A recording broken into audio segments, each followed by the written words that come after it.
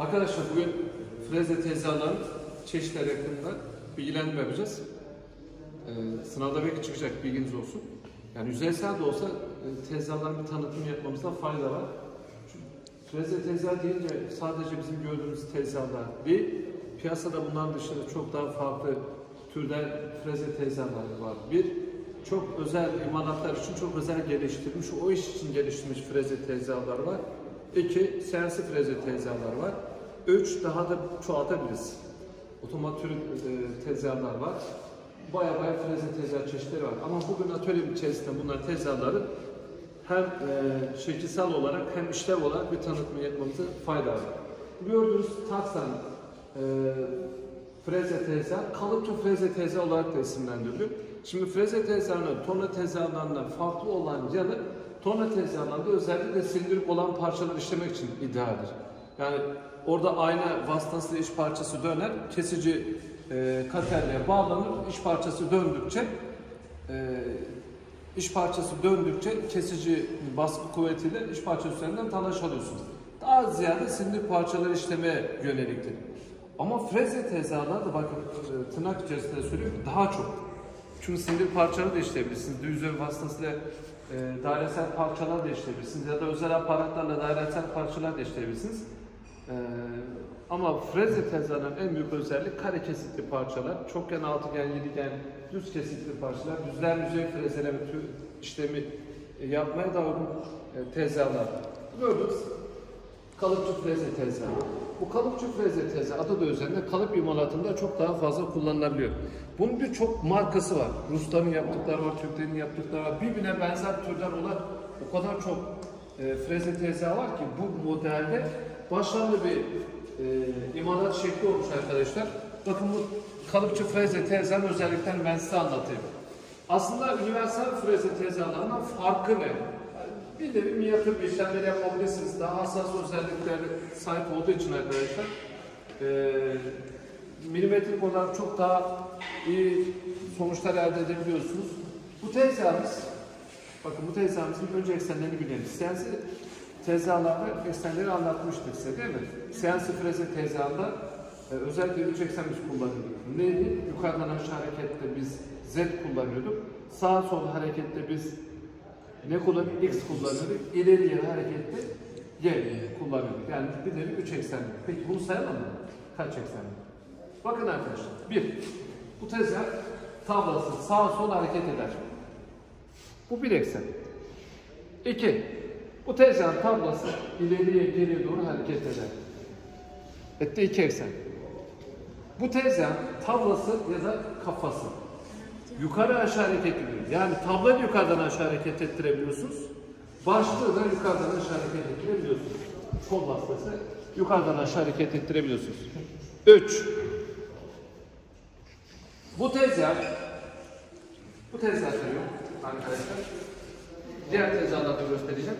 Açısal olarak hareket ettirebilirsiniz. Ama bu tezgah diyor şu anda 3 eksenimiz var değil mi?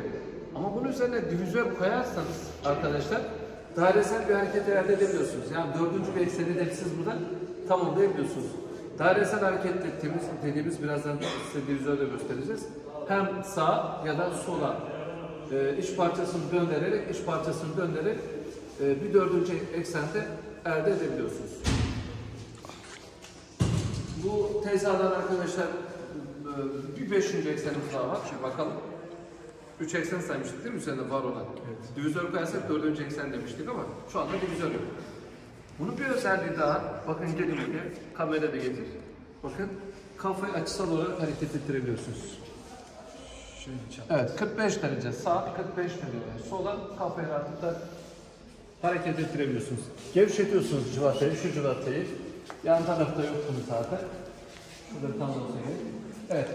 Gevşetiyorsunuz kafayı sağ ya da sola. Açısal göstergeden istediğiniz açıda siz bunu döndürebiliyorsunuz. Peki hocam ne tür işlemler yapabiliriz bununla? Parçayı aldınız, bağladınız buna. Parçaya bağladınız 45 derece yanan, 45 derece veya 30 derece veya 25 derece sağ taraftan park kırmak isterseniz rahatlıkla yapabilirsiniz. Ya da açılı bir yüzey elde etmek isterseniz yine uygun bağlama yöntemini kullanarak bu parçayı işleyebilirsiniz.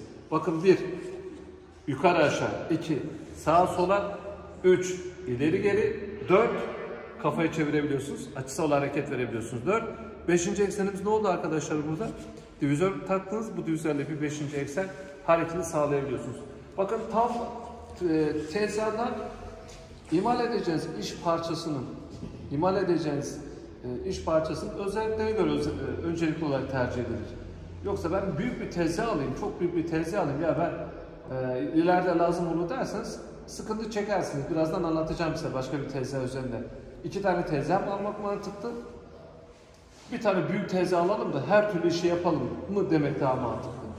Bir tezgah olursa beklersiniz, sıraya sokarsınız işleri ki o bitsin diğerine başlarsınız. Ama iki tane tezgahınız olursa aynı anda iki tezgahta iki farklı iş yapabilirsiniz. İki boyut, farklı boyutta iş parçası işleyebilirsiniz. Bakın bunların üzerinde kanallar var, T kanallar var. Bu T kanallarla T kanal cıvataları, pabuçları bağlayabilirsiniz. Mengeneli iş parçasını bağlayabilirsiniz. Ya da mengeneyi kaldırıp büyük ebatlı iş parça videolarımız da var. Arkadaşlar ben size sonra linkini veririm.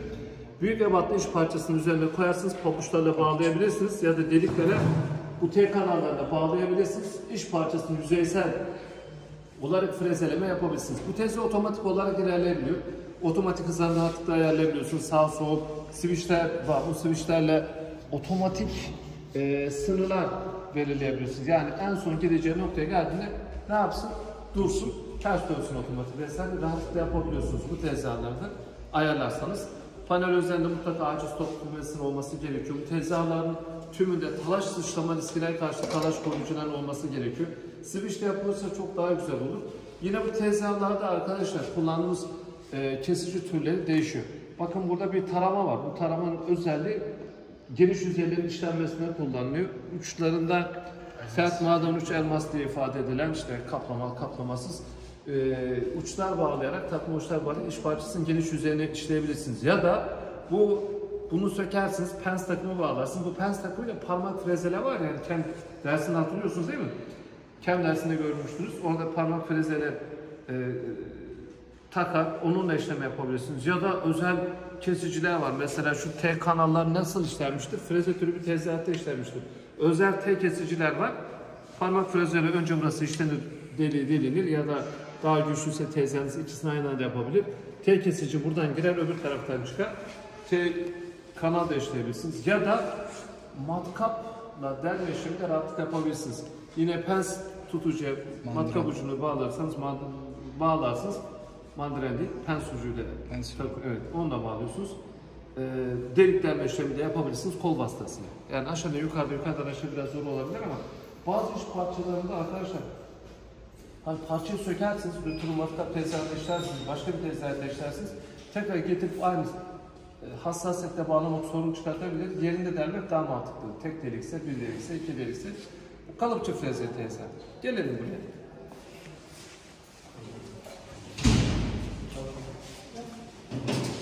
Evet arkadaşlar bu da üniversal bir freze tezgah. Şimdi bunun evet bu tezgahın bir özelliği bir özelliği şu halinin üzerinde dikkat ederseniz divizör var. Bu divizörün de özelliği yan taraftan görürsünüz. Bakın divizörün şu ayna kolunu çevirdiğim zaman şurayı boşalayım. Evet. Yok yok şurada boşluk var. Ee, şu anda ayna yapılmış. Özellikle tespit yapılmış, yapılmış. Arkadaşlar delikli ayna var. Delikli ayna hesaplarıyla siz bunun üzerinde dişli açabiliyorsunuz. Biz öğrencilerimize çok yaptırdık bunu. Biz kendimiz de yaptık. Her türlü dişliyi açabilirsiniz. Biliyorsunuz bu dişler gelişi güzel açılmaz. Yani önce parçayı tonalamanız lazım. Tonalanı parça getirip hassas bir şekilde ya direkt divizörü ya da divizörün karşısında bir malafa yardımıyla puntaya bağlarsınız. Hesaplarını yaparsınız. Kaç gün atlanacak, kaç tur atlanacak bunları yaparsınız. Bunu sağa veya sola çevirdiğimizde iş parçası aynı özellikle ileri geri döner. Yani sağ sol döner. Bu bir eksen. Değil mi? Diğerini de anlatmıştık. Bu bir eksen. Bu tezgahın diğer ekseni nedir? Bu sağa sola gidebiliyor. X ekseni. Bu ileri geri hareket edebilir. Etti üçüncü eksen ama çok fazla ileri gelmez bu. Dört bu yukarı aşağı hareket edebiliyor. 5 şuraya bir kol takıp yukarıdan aşağı rahatlıkla bunu hareket ettirebiliyorsunuz. Kaç etti? 4 etti değil mi? 1 2 3 Yine bu açısal olarak çevrilebiliyor arkadaşlar. Ee, diğer tezgahtaki bir 45 derece sağ sol çevirebiliyorsunuz. Bunu. Efendim? 50 derece olmuyor. Ya. Bu, olabilir de bu tezgah için olmuyor. Yani üzerinde kaç derece gösterilmişse o kadar döndürülebilir. Şimdi yani kavramalar, dişliler, işte tutma, sağlamlık, hassasiyet açısından bu şekilde imal edilir. Tabii ki. 45 derecenin açıldığı yerlerde dereceli mengemeler var. Onlar mı kullanılıyor? Yok dereceli mengene kullanmamak için bunu kullanıyorsunuz. 45 mesela ben 80 derecelik bir açı yakalamak istiyorum. Malzeme çünkü çok... Kullanabilirsin. Böyle Ha, bir 45 derece için diyorsan mengeni kullanmanı gerekiyor. Bu yeter. Ama ben işte 50 55 derece o zaman da ters açı kullanmak lazım ama bazı parçalarda 50 55 derecelik bir işlem yapmak istiyorsanız o zaman universal mengene, mengene dediğimiz mengene e, iş parçasını bağlıyorsunuz. Ekstra mengeneyi de çeviriyorsunuz. Yani artı olan açı mengene vasıtasıyla sağlayabiliyorsunuz. Universal bir freze tezgahı. Yine arkadaşlar bunda kaç eksenimiz oldu bizim? 1 yukarı aşağı dedik. 2 sağ sol 3 ileri geri 4 divizör bu divizör diğer tezgaha da götürseniz 5. ekseni elde ediyoruz. 5 sağ sol kafayı çevirebiliyorsunuz. Yine bu tezgahın bir özelliği bunda yok. Ha, göründüğü gibi kafa takılabiliyor ama bu da kafa takılamıyor. Yani bu tezgahın eksenleri bu kadar. Hassas, işlem yapabiliyor. Avantajı, dezavantajı ne? Yani avantaj biraz daha ona göre daha kaliteli ama dikkat ederseniz tablo hareketi sağ sol ileri geri biraz kısıtlı. Değil mi? Evet, bir de şurada vana var ya. Soğutma sistemleri. Tabii. Açmıyor. Evet, soğutma sistemleri bütün tezgahlarda var. Yani su tutuyorsunuz, tamam mı? Su ile tutuyorsunuz. Su tuttuğunuz zaman, e, su tuttuğunuz zaman e, işlem yapabiliyorsunuz ama biz burada öğrencilere fıs fıs şeklinde soğutma veriyoruz. Niye? Su yere döküldüğü zaman çok sirkülasyon var burada. Hani öğrenci düşme, e, kaza riskini azaltma adına çok fazla su kullanmıyoruz. Ya fırça türü soğutma sistemi kullanıyoruz ya da soğutma spreylerimiz var onu kullanıyoruz. Yani her tezgahta olması gerekiyor. E, Ne dedik? Hareketleri biraz mesafe olarak kısıtlı bu tezgahda ama e, böyle bir tezgahta güzel. Yine Taksan imalatı bu. Eskiden devletin kendi fabrikasıydı. E, o dönemden kalan ma- makineler.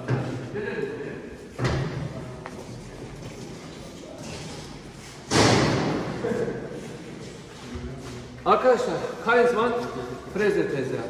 Dikkat ederseniz boyutsal olarak e, biraz daha küçük. Eğer yanlış hatırlamıyorsam bunu geçici koyduk tabii. Yayınlanana kadar. Bunun kendi koruması var. E, yerden açtık. Şimdi arkadaşlar bunu dikkat ederseniz boyutsal ama ne kadar paranız varsa o kadar tezgah alırsınız. Adamın firmanın parası bu kadardır, bütçesi bu kadardır ya da yeri küçüktür, bana ufak bir tezgah lazım derse gider bu tezgahı ekstradan alır. Bunu küçük işler yaparsınız. Küçük tezgahlar eğer iyi bir markaysa daha hassas imalat yapar. Küçük parçalar işlemek için ideal. Yani bununla gidip şuradaki büyük tezgah birazdan göstereceğim sanayi tipi olan freze tezgahla imalat yapmak çok mantıklı değil. Küçük işler için bu tez, tür tezgahlar yeterli. Yine e, bundaki eksenleri bir sayalım isterseniz. Bakın arkadaşlar bunda da ileri geri bir eksen. Bunda sağa sola iki eksen. Bunda yukarı aşağı hareket var. Ama neyle hareketi sağlıyoruz? Ve sadece tablayla kafayla bu hareketi de sağlayabiliyoruz. Bakın şuradaki kol vasıtasıyla ama çok sınırlı. Çok fazla da hareket yapamıyorsunuz. Sadece en başta delik işlemleri ve diğer işlemler için burada o kolu rahatlıkla hareket ettiremiyorsunuz. En başta bir ayar yaptıktan sonra işi yukarıdan aşağı konsol hareketini yaptırarak sağlıyorsunuz. Uzak çekebilirsen daha uygun olur. Bu tezgahlar da kaliteli tezgahlar. Şimdi kaç eksen sahip burada? Üç tane mi sahip? Bakalım. Bak buraya. İleri geri yukarı aşağı sağ. Peki bunun üzerine divizörü getirirse kaçıncı eksen olur? Dördüncü gelir. Peki bunun kafası dönüyor. 5 oluyor. Bir, bir, bir ekseni daha var. Kaç tane eksen var? Anlatar işte bakın şu anda sayıyoruz. Kaç oldu? 5 oldu değil mi? Evet hocam. Dönmeyeyim mi? Bu tezgahta altıncı bir eksenimiz daha var. Hocam çapraz gitmesi mi? Yok bu zaten bununla alakalı yukarı aşağı hareketi. Tamam. Anlatayım. Şimdi arkadaşlar bakın tezgahlarda şu malafa yuva, ikinci bir malafa yuvası görürseniz bakın şurada ikinci bir malafa yuvası görürseniz bilin ki bunun kafası şu kafa sökülüyor. Bu tamamen ileri doğru geri alıyor. Buraya bir tane daha kafa yerleştiriliyor. Tamam mı? Şöyle yukarıdan aşağı doğru veriliyor. Yataklar var. Bakın birazdan öbür tarafta göstereceğim size. Dikey hareket değil, yatay olarak hareketi sağlayabiliyorsunuz bunda. Kaçıncı eksen oldu? Altıncı eksen. Altıncı eksen. O zaman demek ki bir tane kafa lazım. Bu ile bunu söktük, tamamen kenara koyduk. Kafayı buna taktık, yatakları buna taktık, malafalar buna taktık. Tamam? Yatakları şu kızaklara takacağız. Malafayı da buna takacağız. Bununla biz bir altıncı eksen. Yani sağ veya sol özel dairesel kesicilerimiz var. Testere bıçakları gibi. Onlarla da bir kesim işlemi yapabiliyorsunuz. Avantajlı mı bu tezgahlar? Evet avantajlı. Bunu da rahatlıkla kullanabiliyorsunuz. Özellikle çocuklara biz kanal açma, yine dişli açarken divizörün ayarlarını yaparak bu işlemleri yaptırabiliyorduk. Yedirmeli bölmeler var. O hesapları yaptırıp çocuklara, öğrencilerimize diğer e, eğitimleri de verebiliyorduk. Yani biz kullandık, kullandırdık da. Bu tezgah demek ki bir 6. eksenle bu işi de rahatlıkla yapabiliyor. Bakın neydi? Dikey değil. Aynı zamanda biz şuradaki e, yatak sayesinde dairesel hareketi sağlayabiliyoruz. Ama bunun devre dışı bırakılması lazım. Tamam mı arkadaşlar? Bu devre dışı bırakılıyor. Sökülüyor elinden. Bakın şurada civata bağlantıları var. Bu civata bağlantıları kafa yerinden sökülüyor. Bu tezgah da kullanılabiliyor. Şimdi bu da farklı bir özelliğe sahip bir tezgah. Avantajlı mı? Avantajlı. Bu da lazım olabiliyor. Ama eğitim amaçlı olursa bunu her okulda mutlaka olması lazım. Birazdan diğer şeyleri göstereceğiz. Gelelim buraya.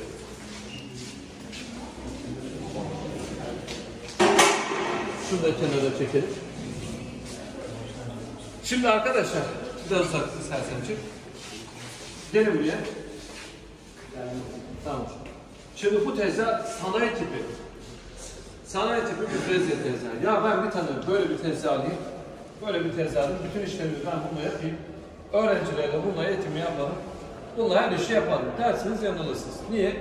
Ben bu tezgahı alana kadar belki o tezgahtan 3 tane veya 4 tane alırım. Değil mi?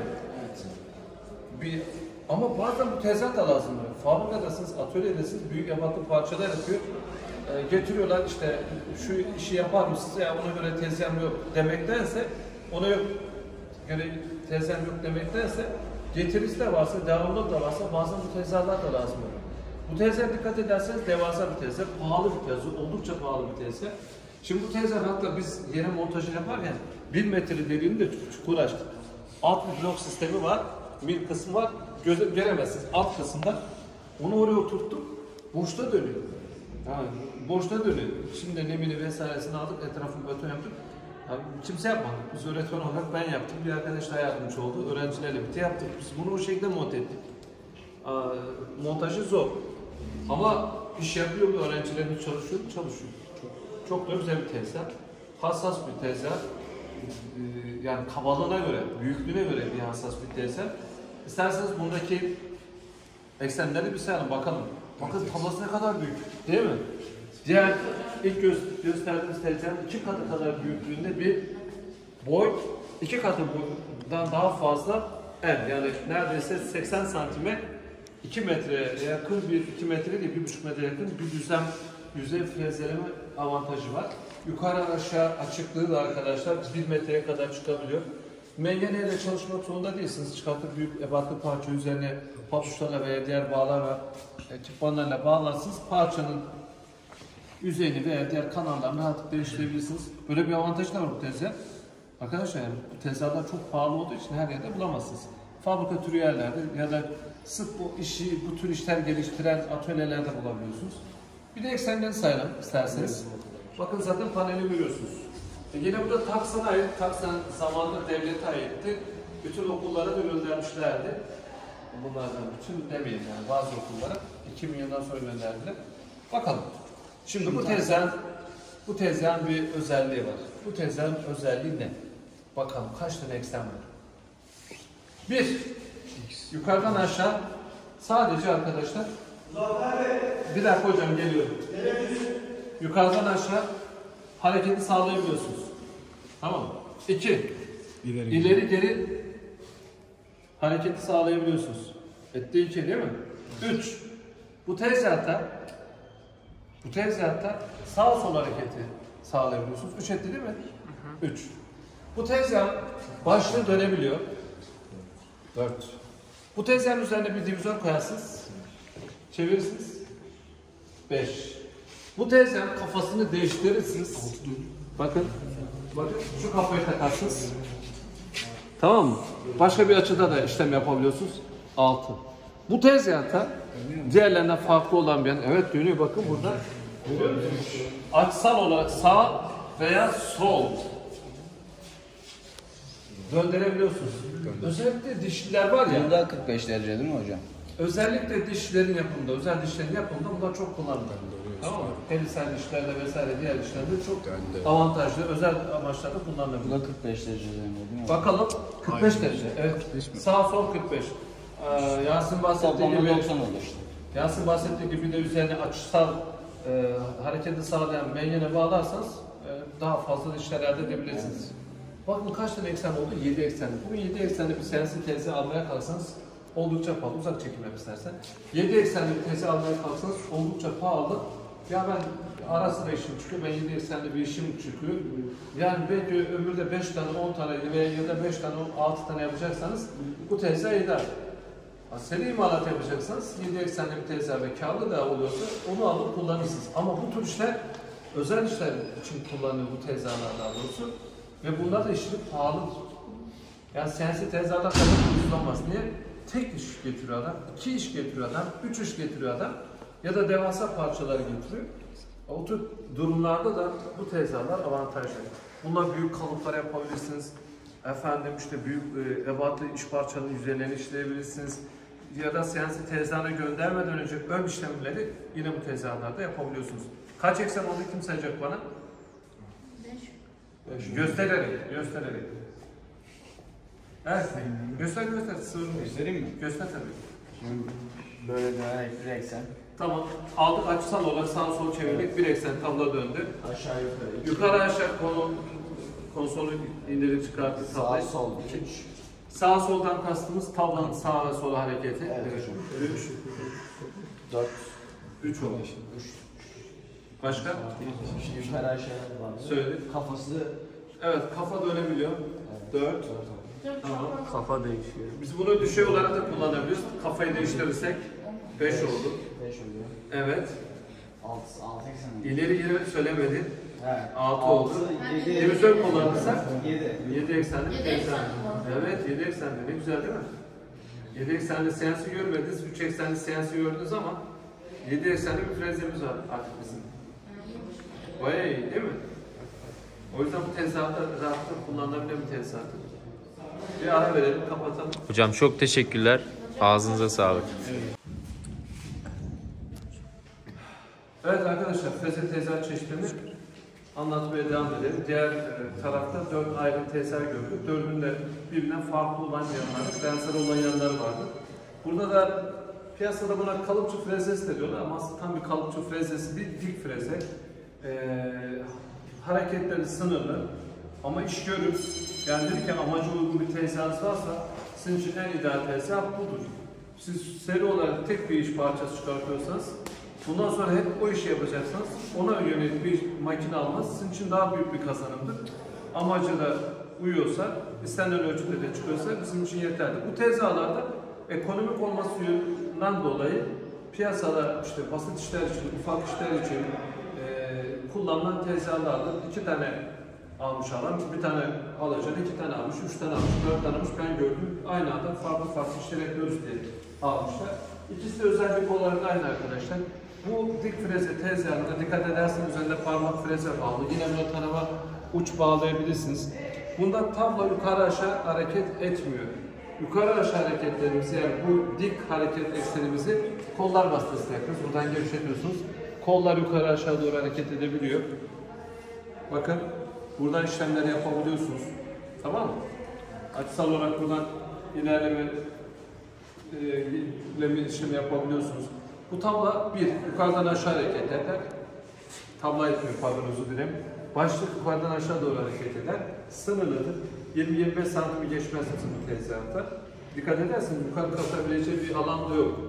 Alt tarafta kesicileri takmak için ya da yedek parça dişleri takmak için bir haznemiz var. Bu birinci hareket yukarıdan aşağı. İki, sağ sol hareketimiz var. Üç, ileri geri hareketimiz var. Dört üzerine düzler takarsınız. Düzlerle bir e, dördüncü efsane hareket kazanmış olabilirsiniz. E, kullandığımız mengene de aslında universal bir mengene. Bu mengene sağlı sollu dönebiliyor. Dikkat ederseniz diğer tezgahta tam da dönüyordu. Değil mi sağlı sollu? Ama bunda e, kullanmış olduğunuz mengene sağlı sollu dönebilir. İsterseniz böyle de açılar tamamlayabiliyorsunuz. Otomatik çalışabiliyor. Dijitaldir. Olanlar da pardon özür. Dijital sistem bunları monte edebiliyorsunuz. Diğer tezgahlarda da dijital sistemler monte edebiliyorsunuz. Artık piyasada böyle. Yani dijital, dijital sistem yataklara bir özelliği takılıyor. ileri geri. Pano yapılıyor. O pano tanımlanıyor. Bir e, lineer yatak şeklinde. İleri geri, sağ sol, yukarı aşağı bütün her şeyi dijital olarak görebiliyorsunuz. Ama ekstra parçalar takmanız lazım. Şeyde- Ama aynı olay torna tezgahlar için de yapılıyorsun. Torna tezgahlarında bütün bu dijital sistemler sonradan takılması genelde. Yani yeni makinelerde var, eski olan bütün makinelerde firmalara giriyorum, sonradan takılabiliyor. Maliyet olarak biz bile e, takalım dedik ki 11 bin lira bir maliyet çıkıyor. Torna Öyle fazla bir şey değil. yani bir tezgah için 11 bin lira ama burada 10 tane 15 tane tezgah var. Bir de biz öğrencilerin çok dijital alışmasını istemiyoruz. Önce bir manuel bitirin, kendisi öğrenin, kavrayın. Sonra dijitale geçersiniz. Öğrenci hata yapsın. Öğrenci iş parçası bozulduğunu da bilsin, görsün. Hata Çözüme, evet, çözüme gidebilmesi için mutlaka hatadan geçmesi gerekir.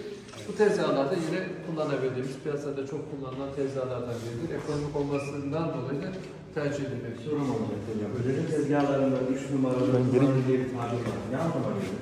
Oğlum yaklaşmış. Piyasa yani şeyde piyasada nasıl isimlendiriyor? Boyut olarak söylüyorlar. Büyük bir numara söyledikleri yani tersinden de olabilir. Teknolojide böyle bir şey yok. Teknolojide böyle bir tanım yok. Bir numara, iki numara, üç numara. Yani eksen de tanımlıyor bunu. Bir metrelik, yarım metrelik. Her yarım metreye bir ölçü, e, değer veren var ya da boyutsal tonaj olarak değer verenler var. İnan tam olarak bilmiyorum. Ama piyasada bu numarayı kullanıyorlar. Teknolojide yok. Yani biz ne öğrendik öyle bir şey. Üniversitede de öğrenmedik. E, lisede öğrenciyken de öğrenmedik. Çocuklara da böyle bir şey öğretmedik. Yani piyasanın kullandığı tek, teknik kavramlar biraz farklı. Mesela mengeneli ayna diye geçer teknolojide. Piyasada mengene ayna diye bir ifade kullanırsanız o da ne hocam derler. Kepenli ayna derler onlar.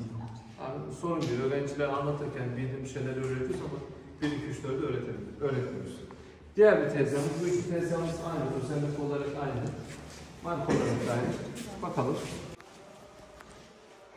Diğer tezgahlar da sanal olarak demiştik. Dedi ki kafayı sökerseniz, kafayı sökerseniz, eee yani takılı olan dik kafayı sökerseniz, başını sökerseniz, üst kafayı ileri doğru verirseniz, şu hareketli olan kısmı, başlık takarsanız, malafa takarsanız, üzerine kesici takarsanız, böyle böyle bir tezgah olur demiştik. İstese yerinde gösterelim. Değil mi? Dikkat ettiniz mi? Şuradan getiriyoruz da bir yatay milimiz var. Hareketi buradan alıyor. Kafalarla, başlıklarla bunlar destek sağlıyor. Salınımı, salınımı azaltma adına kesiciyi takıyorsunuz. Yatay freze diye geçer. Sadece bu iş yapan tezgahlar yatay freze tezgahı. Bizim bu tezgahda özellikle yatay freze tezgahı. Yani buna kafa, buna takılmıyor ya da şöyle söyleyeyim takılabilirse bile elimizde bunun kafası yok. Ama piyasada sadece bu özellikle olan da var.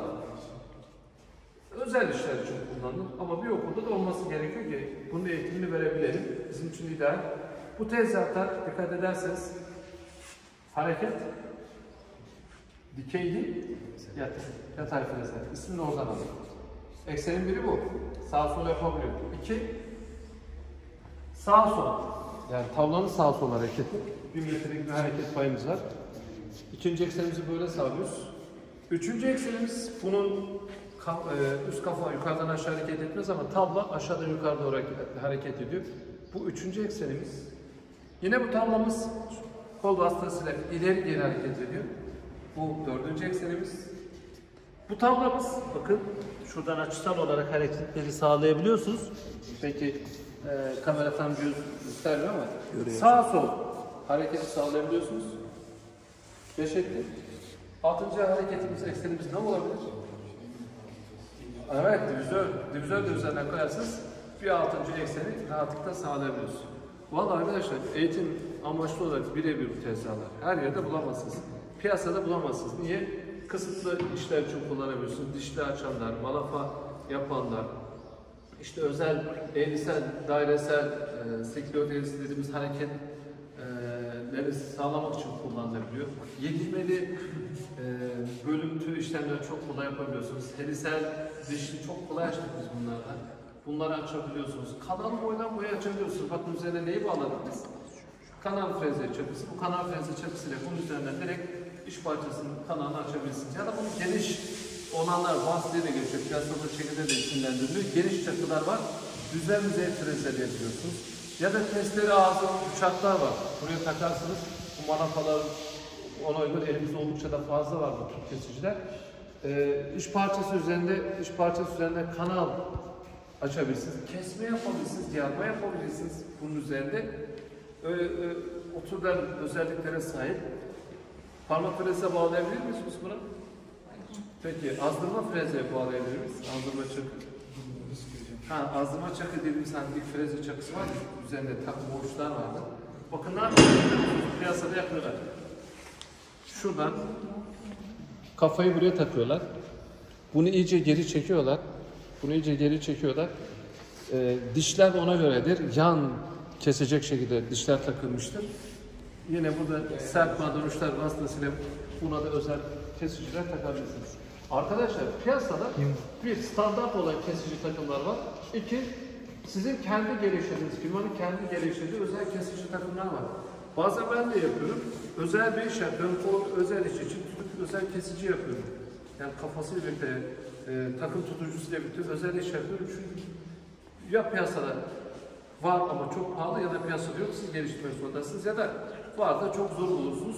Değmez almak çünkü kendiniz yaparsınız. Yani e, bu sektörün, bu mesleğin en güzel yanlarından biri sanatsal yönü oluşu. Sanatsal yönü oluşu ne demek? Hazır konuştuk yok her zaman. Kendiniz geliştirirsiniz, kendiniz yaparsınız, kendiniz bir yere kadar getirir, daha da iyi bir pozisyona sokarsınız. Adam bir makinenin e, imalatını yapacak. İmalatı yaparken var olan makineyi alıp birebir yapmaktansa farklı özellikler farklı özellikler kazanırken diyor. Al benisi çok olsun piyasaya ben bunu rahatlıkla sunabileyim diye o türden de tezgahlar var. Bugün neler gördük? Hocam neden iki tane kol var? Evet, niye iki tane kol var? Şimdi arkadaşlar, yedirmeli bölmelerde bu kısımlara özel dişler takıyoruz. Paraçol vesaire diğer dişlerle birlikte. Perisel dişler açılabilir. O tür bunlar hesaplar çok e, farklı. Buraya dişler takabiliyorsunuz. O dişlerle divizöre hareketi veriyorsunuz. Divizöre hareket veriyorsunuz. Verdiğiniz hareketle de özel bölüntüler yapabiliyorsunuz. Tamam? İki çift taraflı da zaten ekstra kullanabilirsiniz. Bakın boşlar.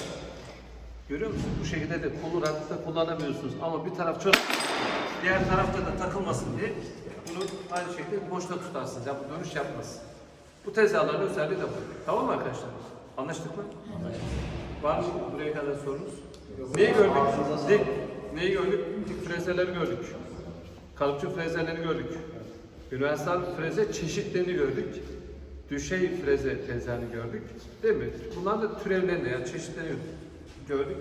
Bunlar sadece bizim okulda olanlar. Başka yerde daha ne güzel, ne özellikli freze tezgahları var. Makine daha çok Yani bakarsın, görürsünüz. Onlar da e, bilgisayar ortamında size anlatırım. Teşekkür ederim. Çok teşekkür ederim.